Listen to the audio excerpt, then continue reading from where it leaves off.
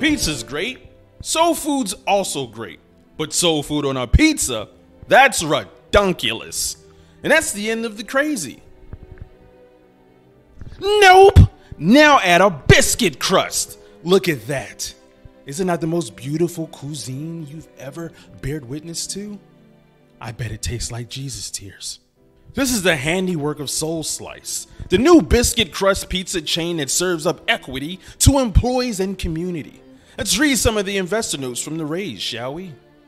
Dan Davies says, What a great idea for a pizza! I'm excited to be a part of this local business and wish Soul Slice the greatest success. Joel G. Coleman says, Love this idea that combines a solid business model with the commitment to do good in the community.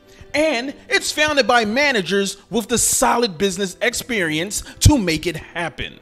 And Deb Helton says, I believe business should be an investment in its community and its team, ultimately creating a future. Seems as if Soul Slice is poised to do this. Yes, they are. One cornmeal chicken nugget at a time. You'll be sure to place an order today online or pop in and place that order in person. And I look forward to one day reading your well written investor note. Biscuit.